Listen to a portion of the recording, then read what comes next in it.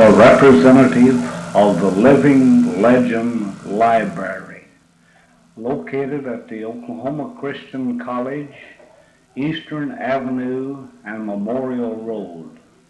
The Living Legend Library is dedicated to the auditory preservation of Oklahoma history through interviews with its citizens who know of the history of Oklahoma. Today we're in the home of Miss Laura Crews of Enid. Miss Crews is 97 years of age and unquestionably is one of the few survivors of the run for homes in 1889 and also of the opening of the Cherokee Strip. Miss Crews has also identified herself by writing historical volumes. We will conduct this interview with the lady toward the objective of having her tell us of the early days of Oklahoma and Oklahoma Territory. Miss Crews. Miss Crews is in her home and in Enid where she has lived since 1920. The address? I, in Oklahoma, in the early days can best be described in two words. I quote, hard work, unquote. My brother Will, two years older than I, and I made the race in the Cherokee Strip. We staked adjoining claims. There Don't touch the mic. Don't touch that. Oh, all right. There was an immense amount of work to do. Two houses had to be built, a well dug, a stable built for our horses, a hen house, and a past, pasture to be fenced, a pond made in the pasture. Then there was a sod to break, a crop to plant, and an orchard to grow. Uncle Sam gave us six months from the time of filing to uh, start our improvements. My time expired the 22nd of March and Will's the 27th we decided to build dugouts just across the line from each other. I was fortunate to have two streams of water on my claim. Uh, heavily lined with timber, oak and cottonwood trees and saplings while Will was digging the gut dugout in the side hill, I cut down saplings, piled the brush for the roof, and pulled tall grass. The part of the roof was uh, underground, and the part that wasn't, we put poles and then the brush, grass on that, dirt on top of that. They weren't, it wasn't supposed to leak, but it did. When my dugout was finished, Will decided he'd build a sod house. He uh, plowed the sod, cut it in squares, and I carried them to him, and he built the walls. We uh, had it about half finished when a strong wind came, blew part of it down. Will decided that a dugout would be better after all. So I got the material ready for the roof while he dug the dugout. Other uh, claim holders had dugouts too. The cattle could uh, walk on top of the roof. One of our neighbors had their noon meal ready when a cow fell through the roof down. She wasn't hurt. She brought a lot of dirt with her, got up and went through the screen door and walked up the steps changed his mind about the dugout and thought of ha- about the sod house and thought a dugout would be better after all. While he was digging it, I got the material ready for the roof. His dugout leaked too. Project was a well we had to carry water more than a mile from a spring on the edge of Black Bear Creek. One of our neighbors told Will that he'd witch a well for him. He cut a forked stick from a willow tree and traced the uh, vein of water from the spring to within a I don't know, to within an eighth of a mile of our dugouts. Will commenced digging. When he got so deep that he couldn't throw the dirt out, he rigged up a windlass. I operated it and got along nicely till one day I let the bucket of dirt fall back in the well. Mirac- miraculously, it missed Will. We, he gave a man a dollar a day to help him finish the well. One morning they went down to work on the well and found it full of water. We hauled rock and uh, Will and the man walled the well.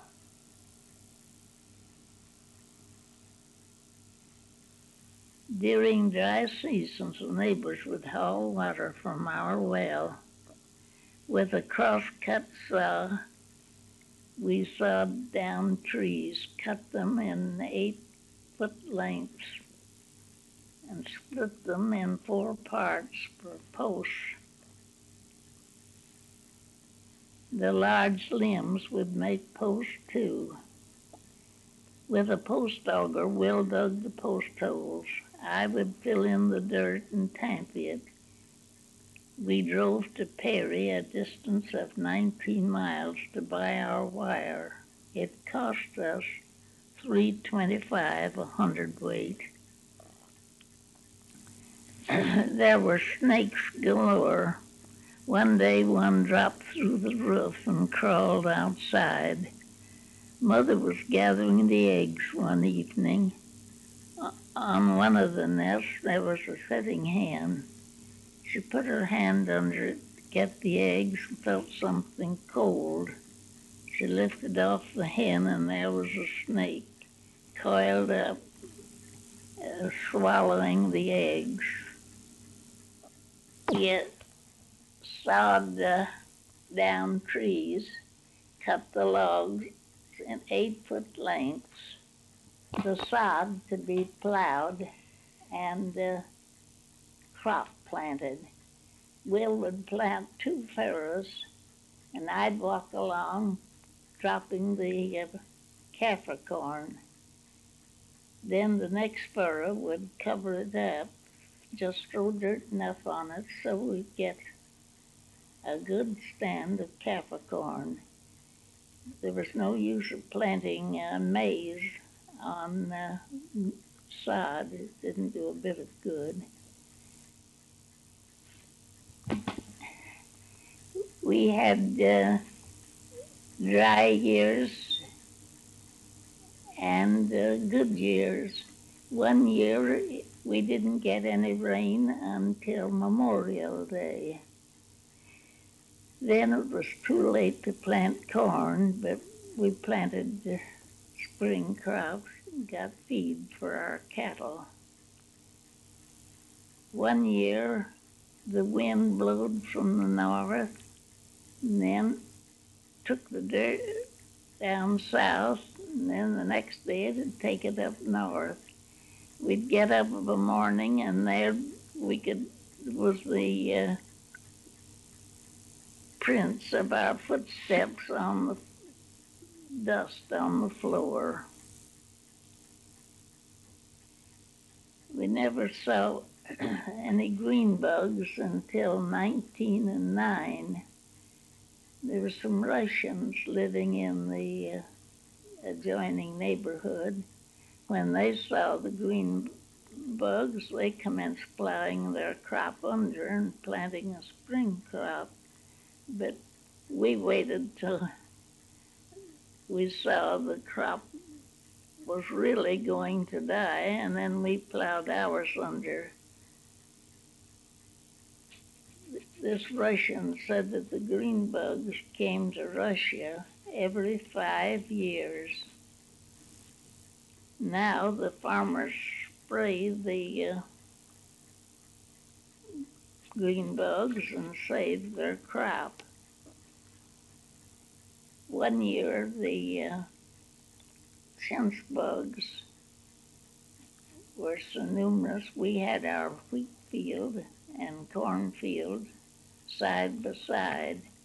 So Will plowed a, a furrow, put a log in the furrow, and got a boy to drive ride the horse up and down the furrow. This killed the chinch bugs and saved our crop, but we quit plowing, planting corn, wheat. We raised corn altogether. We uh, fed the corn to our hogs, hauled them to Perry, a distance of uh, 19 miles, and uh, sell them for $2.80 a hundredweight. Everything we had to sell was cheap. We calves took off from their mother when a few days old sold for two dollars a piece. If they were allowed to get older, they'd bring as much as ten or twelve dollars. Cows would sell from ten to twenty-five dollars each. One day, mother took some eggs and butter up to Garber, to our store. She went in, she heard two women talking, how cheap and how scarce eggs are. Mother said, how, uh, how cheap are they? Two cents a dozen, she said. Do you have some to sell? She asked Mother. Mother said, no, not at that price. Well, I'll give you five cents a dozen. So Mother let her have the eggs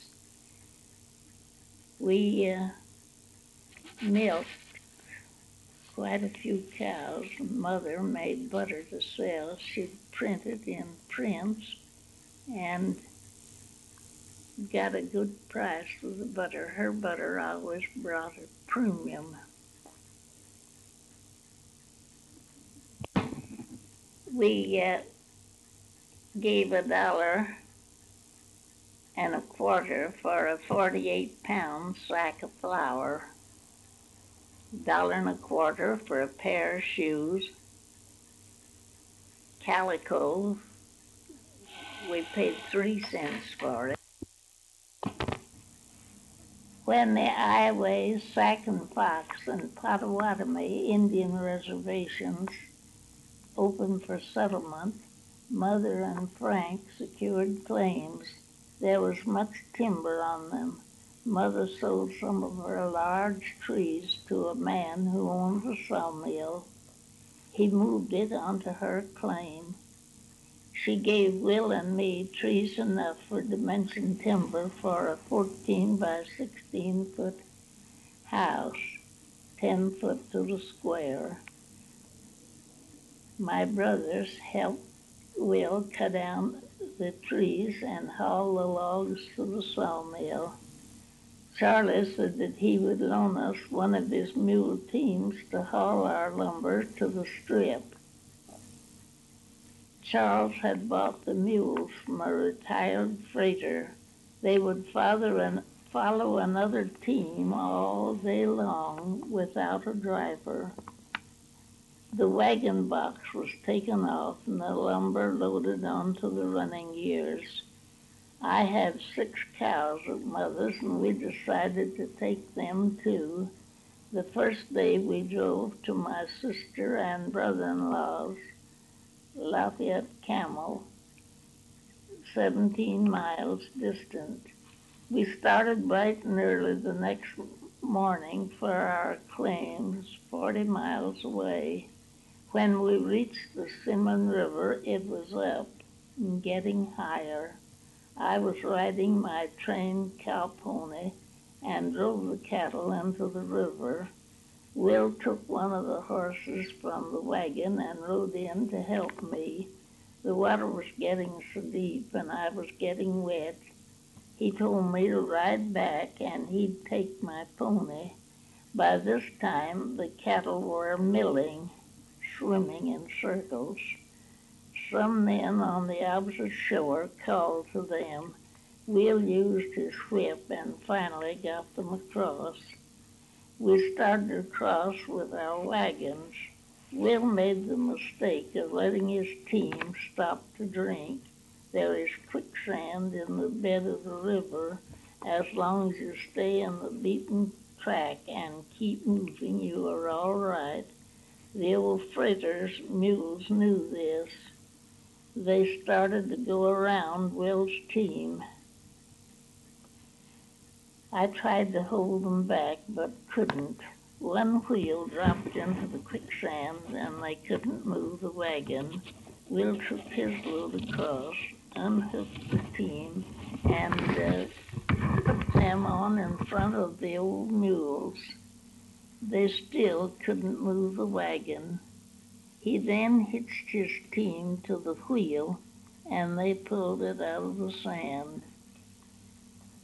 Will was wet and cold. It was the fourth day of March. He got in the wagon, which had a wagon sheet stretched across the back bows, and changed his clothes. I built a campfire, made coffee, and prepared dinner. We were getting ready to continue our journey when we discovered that a calf would soon be added to our herd. There was nothing to do but wait till morning. We put the calf in the wagon next morning and started early. Will and I took turns about driving the cattle. If I was driving the team and we came to a hill, he'd be waiting to put the brake on. We were making good progress when we came to a small hill. Will and the cattle were a considerable distance ahead. I didn't want to take the time to stop and put the brake on. Maybe it wasn't necessary or he would have waited. I drove my team down the hill. The mules followed. When the wagon hit them, they commenced running, struck a culvert, and the rear axle tree broke. A farmhouse was nearby. We got permission to put our cattle in the lot around their straw stack. Will unloaded the lumber, took the axle to Orlando, three miles away, to get it repaired. The folks invited me into their home. The man was a school teacher. In recounting our accident, I said my brother was a considerable distance ahead of us, and I didn't want to take the time to put the brake on. The man said, make haste slowly. I thought this good advice and have followed it ever since we got two carpenters to help with our house. It was built stockade style.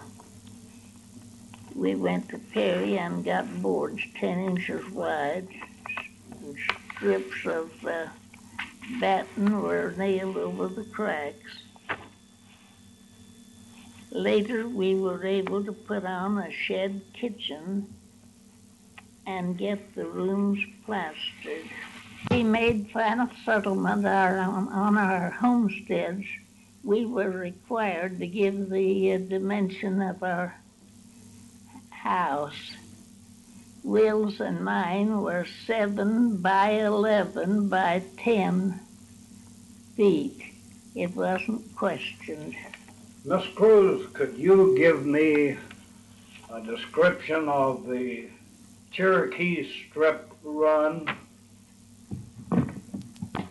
We want to record this for posterity, some descriptive, some color about the run. Can you give it to me, please? Yes. Early on the morning of September 11, 1893, my three brothers, Charles, Will, and Jim, arrived with me at the boundary line between Oklahoma proper and the Cherokee Strip near Stillwater. Will and I were there to get certificates proving that we were bona fide settlers and entitled to a homestead on the land that was to be opened for settlement the following Saturday. These certificates were to be carried with us and were to be showed on demand. Charles, my oldest brother, came to make the race with us and find the numbers to our land, for he had been in the first race on April 22nd, 1889, and was at the time living on his claim no- northeast of Guthrie, near what is known as Cowboy Flat. To Will and me, the marks on the cornerstones might just as well have been Greek, but Charles understood their meaning. Jim, my brother, just younger than I, would not be of age until the following January, but came along to see the fun, as he termed it, and to drive the wagon containing our provisions and bedding while we made the race on horseback. Although it was very early in the morning, a large crowd had preceded us, and a long line was forming in what they thought was the official booth. Will and I took our places at the foot of foot of it. New arrivals kept coming and forming in line. At nine o'clock, when the booth opened, we made the awful discovery that we were standing in line at the wrong booth and that the right one was some distance away. Then came a mad scramble. I was nearly knocked down several times by the onrush, and when I finally got in line, I found myself wedged between two large men with the life nearly crushed out of me. A man fainted and was carried to the shade.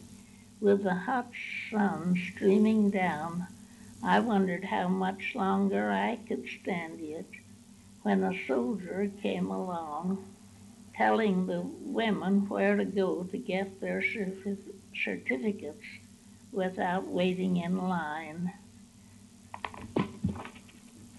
Before noon, I was resting in the shade of our covered wagon with the precious paper in my possession.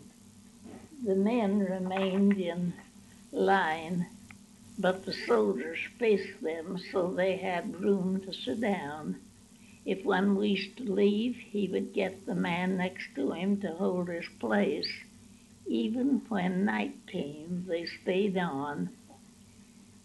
That night, the men who were nearest the booth were aroused from their deep sh- sleep by shouts of whoa, whoa, the rattling of chains and the tramping of feet. Thinking it was a runaway team, they, uh, they jumped and ran to get out of the way. When the din had ceased, they came back to find their places, only to find they had uh, lost them. The sound effect had been produced by some men stamping their feet and rattling chain horses, a ruse to avoid going to the uh, foot of the long line. Fortunately, Will did not have lose his place. There were black people and white people and people from all walks of life in that waiting throng. Several men wore long, unbraided hair which fell around their shoulders. Upon sight of one of them, someone would be sure to say, There goes a man from Arkansas. This would be followed by laughter from the bystanders. One day, one of these long haired men came unexpectedly upon a group of men and before they had time to make their usual remark, he said, Another man from Arkansas. Now, darn you, laugh. A photographer came to take some pictures. The soldiers helped straighten the long line in front of the booth. As the camera was ready to be snapped, a young man stepped out of the line pushed his hat back from his face.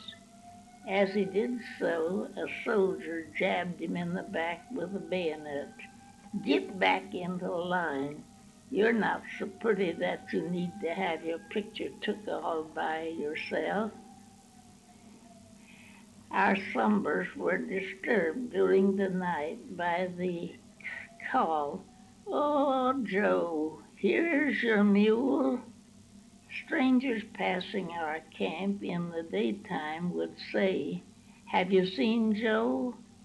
If so, tell him I have found his mule. I do not, do not know how it originated, but I trust that Joe found his mule in time to make the race. The people kept coming in great numbers, many of them bringing fine race horses. We had good horses, but not good enough to compete with these. So we drove west within three miles of Marshall in the one dollar and a half line, the established land value there. We camped in a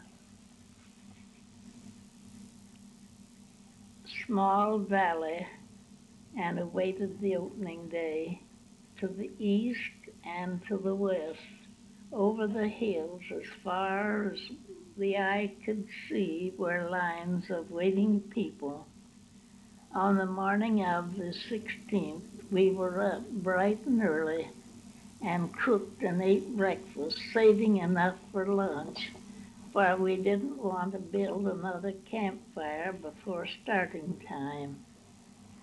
I will leave the boys breaking camp and getting things in readiness for the race while I tell you of my riding costume. I had ridden horseback from early childhood and was considered a good horsewoman.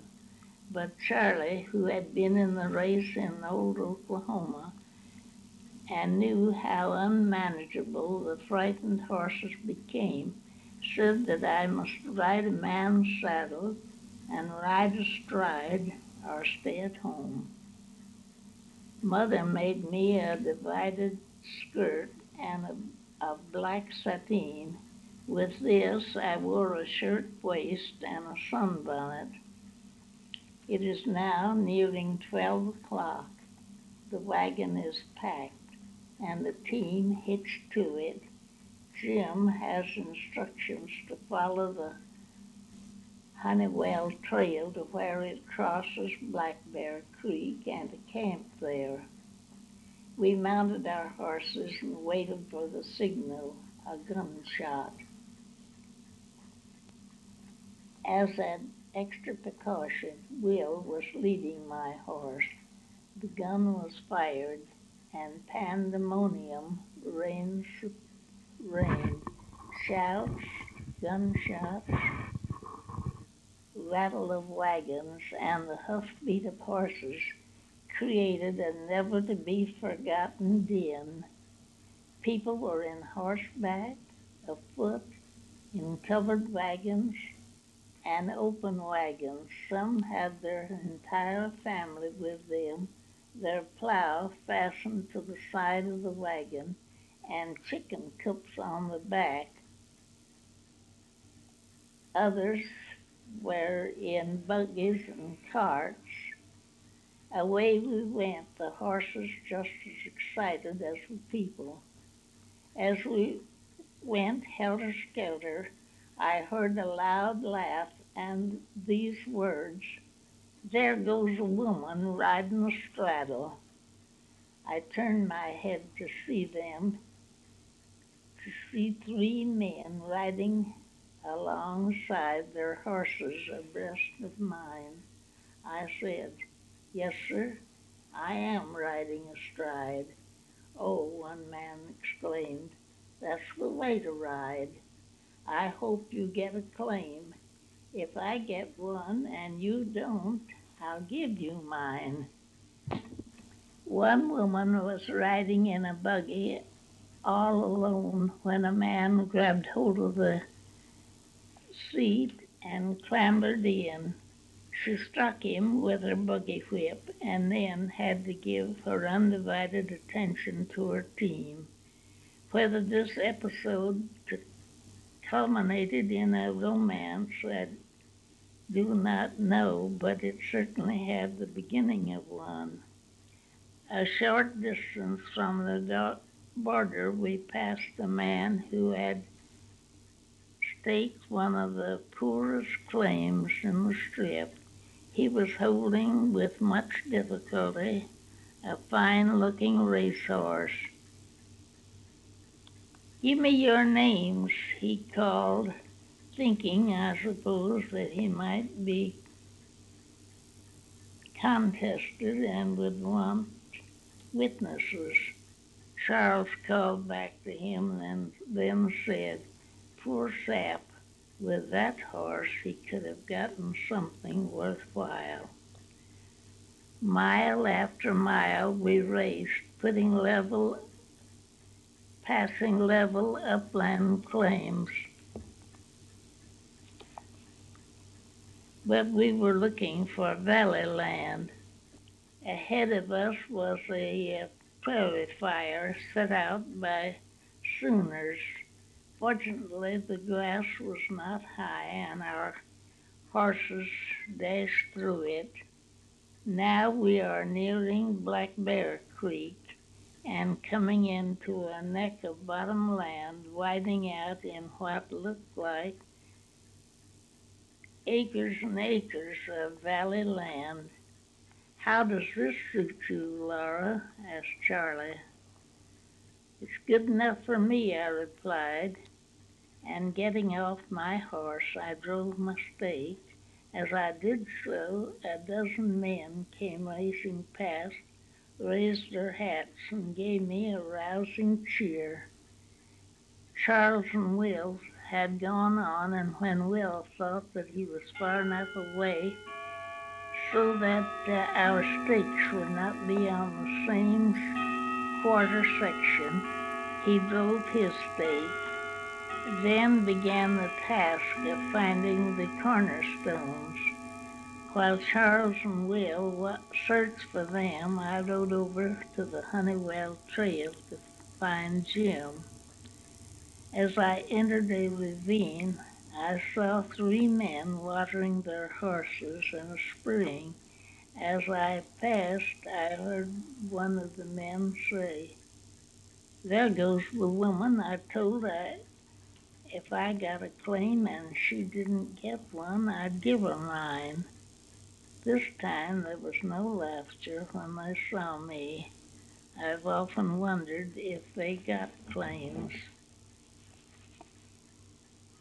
That night, rolled in a blanket under the starry sky, I slept on my claim and dreamed of the future, of the splendid farm all my own. The next day brought a rude awakening when the uh, lines were run on the land where I had driven my stake. There were less than 20 acres of good land, and that not all in one field. No one had staked the claim adjoining, which had about the same numbers. It was a toss-up which to take, but I rather favored the other quarter section. My brothers let me make my own decision. Finally, I said, Charles, why can't I take my claim across the half section line? You can if you want to, was his reply, and that is what I did. This gave me 25 acres of good land in one field. Call it fate or what you will, but when oil was discovered 24 years later, the wells drilled on the East 80 were dry, while small producing wells were drilled on the West 80 where I had driven my stake. The old adage has it that a half loaf is better than none. I was truly grateful for the half loaf. The land in the Cherokee Strip was divided into three sections or zones. The settlers were required to pay $2.50 per acre for the eastern part, $1.50 for the central, and $1 for the western portion. Then later on, to the great joy of the homesteaders, the Free Homes Bill became a law, and the only requirement was to live on and cultivate the land for a period of five years to complete home. Miss Crews, I understand that you have written a poem about the Cherokee Strip opening and the run for the homes in the Cherokee Strip. Would you be kind enough to record that for us? Yes, sir. The biggest race in all history was September 16th, 1893, the race in the Cherokee Strip. Cherokee, Cherokee, the Cherokee Strip.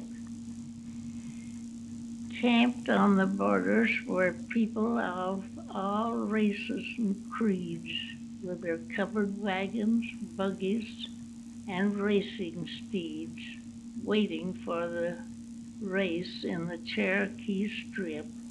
Cherokee, Cherokee, the Cherokee Strip. When the signal was given, we raced pell mell like hungry cowboys when they hear the dinner bell to get a claim in the Cherokee Strip. Cherokee, Cherokee, the Cherokee Strip.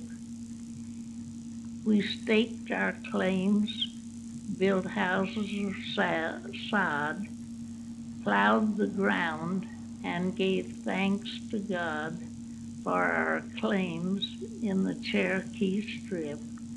Cherokee, Cherokee, the Cherokee Strip. Our menu when the country was new was Kaffir corn bread and rabbit stew, and we worked hard in the Cherokee Strip. Cherokee, Cherokee, the Cherokee Strip.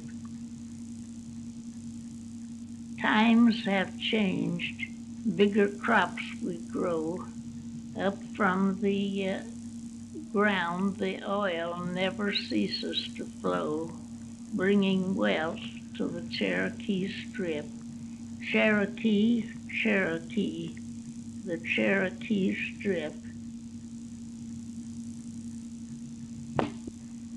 Sons and daughters of the pioneers will carry on through the coming years and keep great the Cherokee Strip. Cherokee, Cherokee, the Cherokee Strip. Miss Crews, the Living Legend Library at the Oklahoma Christian College at Oklahoma City, Eastern and Memorial Road is truly grateful for this reminiscent interview that you have awarded us. We trust that we have not tried your patience nor your physical welfare too much. Thank you very kindly.